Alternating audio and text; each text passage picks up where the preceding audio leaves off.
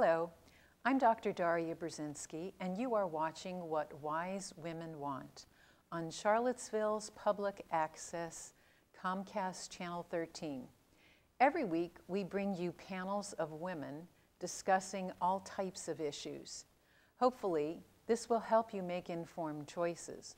Ladies, we are 52% of the population with 85% of the purchasing power, and we can use that power to make choice changes for ourselves, our families, our communities, our children, and our nation.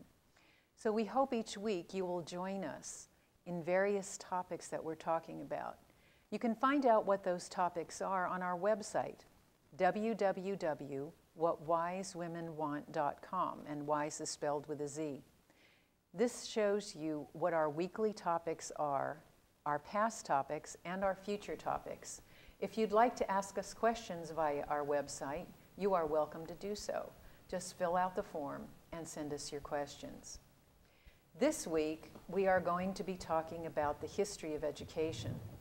Now, the reason we're doing this is because I've discovered that people have no concept of how we got to be where we are in education. Um, where do textbooks come from? The time spent units, the sections and the parts of the day, the subject matter, the subjects that we learn about. All of these things are part of the educational system. So we're going to go all the way back to the beginning and bring us all the way up to the present.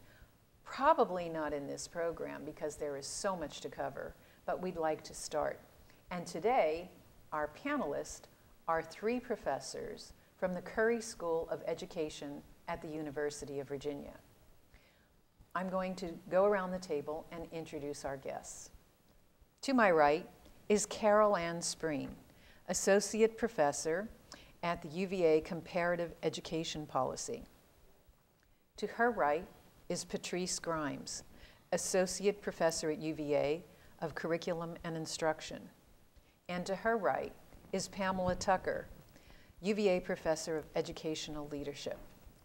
Hello, ladies. Hello.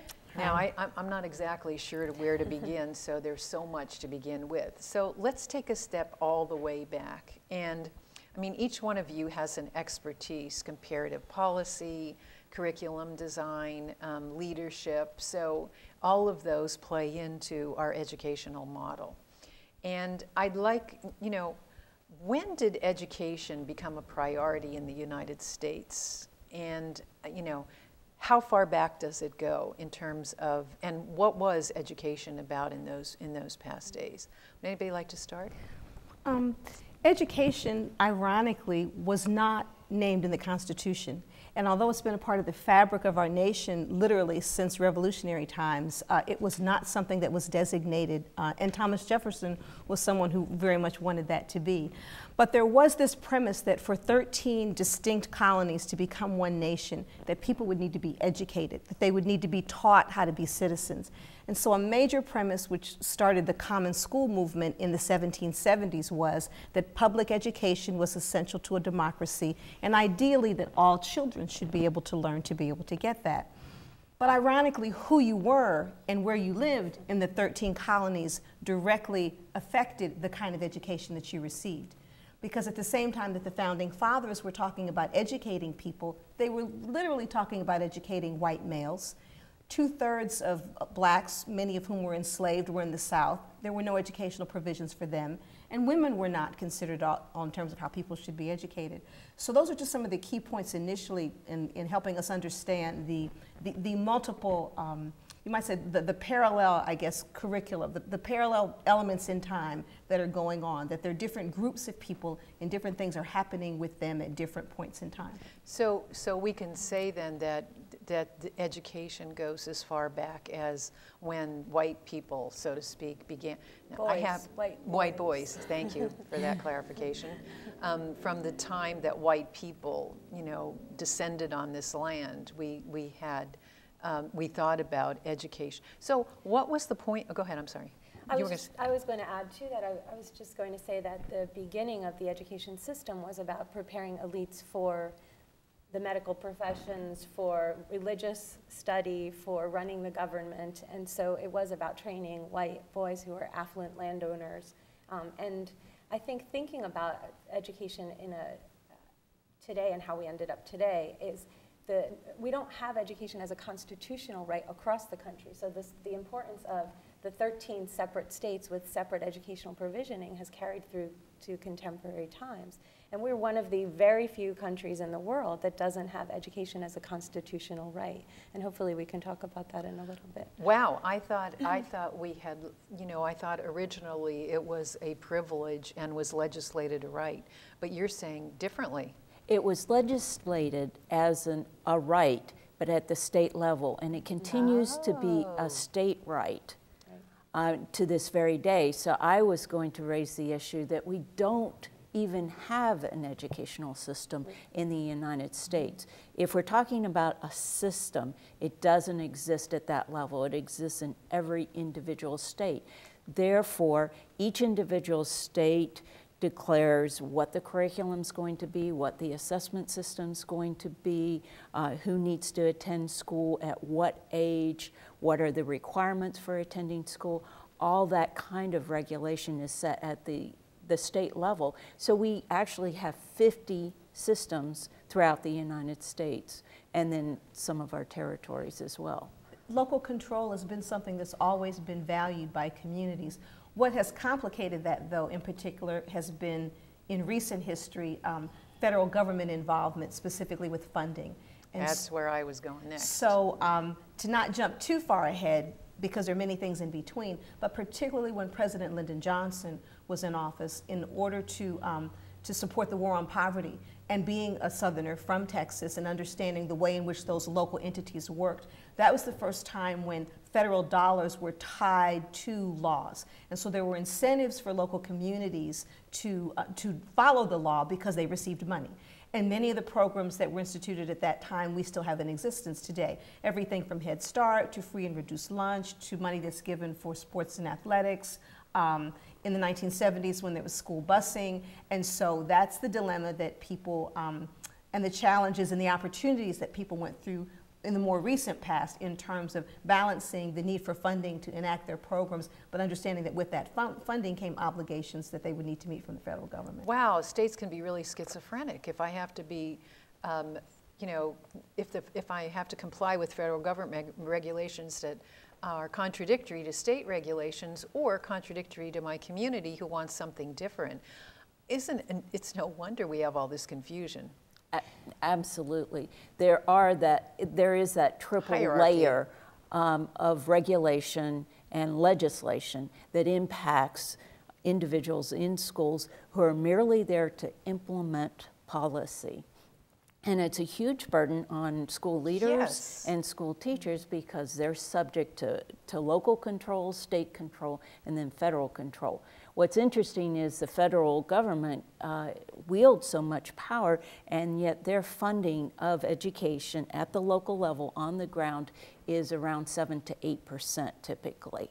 And then the state is, tends to be 40 to 50 percent and the local community 40 to 50 percent, which raises lots of Wow. issues around who's in control Yeah, yeah, and yeah. who's calling the shots. And I think what's interesting and important to remember is historically, states, the, the point that Patricia raised of states having a lot of say over schools and local control of schools being very important, that, that worked very well up until recently. I mean, the idea that, you know, the expansion of secondary education became a very local matter, which is where you know, many more local communities got involved in decision making with education. But if we back up and, and talk about how the state is responsible for providing education for kids today who will have jobs in many different states, might compete on a global level, and are required to have skills for a, a different society and a different world than traditionally the boundaries and limits of state controlled education are. I think to think differently about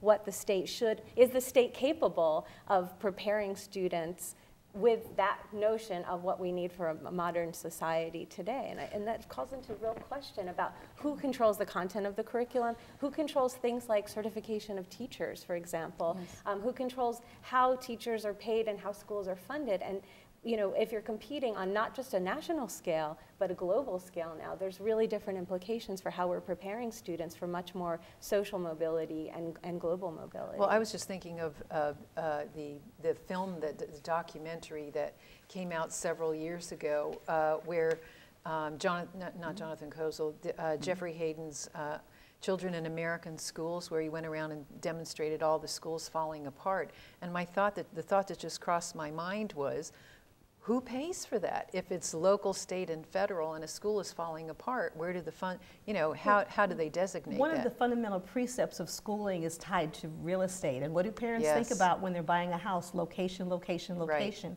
And parents very often will look at the school district and then look for houses within that particular district. And so, because the, the system on a, on a local level is established based on taxes, there's federal government monies, as Pam said, which are a, a part of that. But it basically comes down in many communities to property taxes. Yeah. And so, if you're in a district or a community where the property taxes are higher, then the per pupil, per capita amount can be higher. And it's those distinctions that where you really begin to see the, the gaps between the haves and the have nots in school districts. That some school districts locally are existing on federal monies and subsidies, other school districts have that money, and there's other money that is on top of that as well. And so, um, there's a huge variation not only from state to state, but even with communities within states, and Virginia is a very good example of that. Well, I lived in Pennsylvania, and in our community, we had the mean population was age 64. The teacher's salary, the mean teacher's salary was eighty-five thousand dollars, and they were, you know, this. There were very few students in the school because the population was elderly for the most part, and you know the roads were de- depleted. All this, it was just askew. All the taxes and things were askew.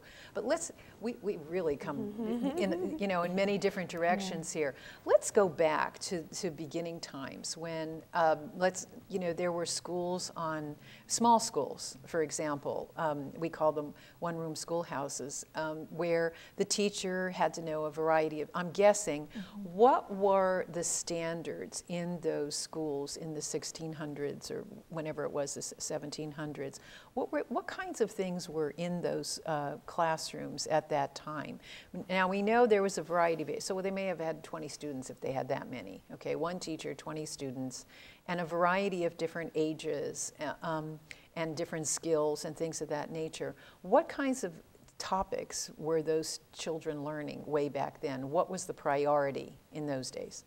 Well, to, to back up just a little bit, initially, when with the uh, the founding of America, um, young males, as Carol Caroline said, were educated privately. Many of them had tutors, and then once they oh, were so they weren't in schools. so initially, people were not in schools. They Ah. would have tutors, and then, in, when communities then began to form, the common school came together to give children who did not have the benefit of having the tutors and the private education an ability, basically, to be able to read and write. And there were also strong religious. Uh, values and philosophies that were emphasized. And so it was the thought that in order for the nation to be strong, that there had to be this sense of morals and honor and integrity and so on. So there were readers that were basically designed not only to teach students to read and write, but many of it was based, many of them were based on the Bible, scriptures and things of that sort were used. Much of the learning was rote.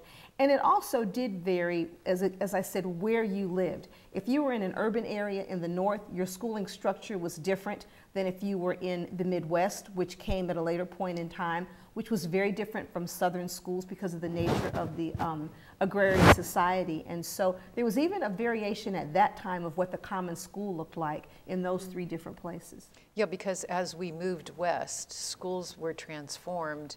Um, I think, isn't that when the, one- the one-room schoolhouse transformation began? Because people were moving out of the north and out of the south into the west. And so, you know, a different structure was set up across the nation. And schooling and education was a very big draw, particularly for, for new immigrants to, to the country. And so for them to be able to go west to know that they would have a community and a school would be an anchor to that. And that's also where the role of women came into play because women um,